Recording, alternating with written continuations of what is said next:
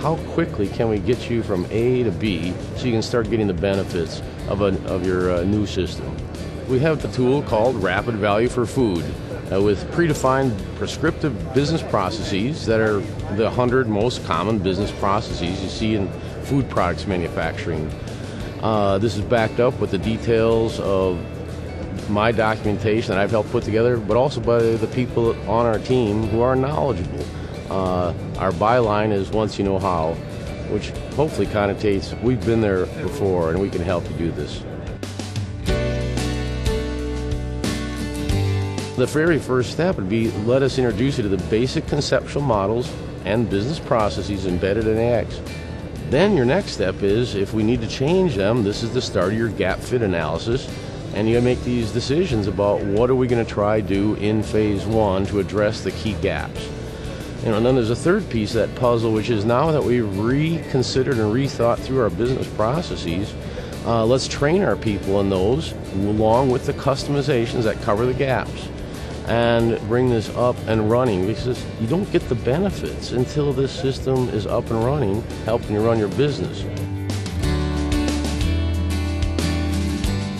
One of your critical issues would be what are we going to cut over in phase one? You, cannot do this entire system in one go. So you basically pick the most important business processes, whether it's in sales, purchasing, production, projects, accounting, and you start with those. Now the issue is is the prescriptive business process that we've seen across our experience, does that fit you?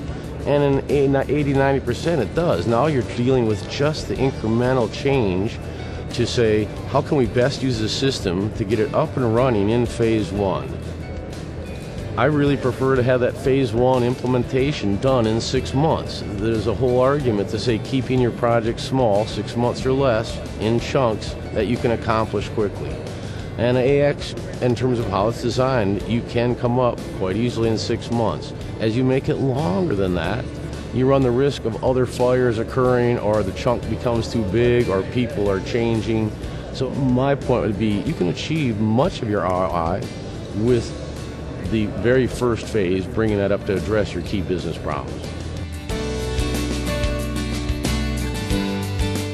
The latest book was largely motivated by the focus of Columbus. We're in three specific verticals, and one of them happens to be food products. And so I thought with the new release of AX 2012, and I'll be writing multiple books about it, let's pick the one that Columbus specializes in. It also happens to be one of my specialties. And so this latest book, which is about food products manufacturing, has about 80 case studies in it, but it represents my experience working across slightly more than 250 food products companies. And uh, it also represents our expertise around the globe in food products.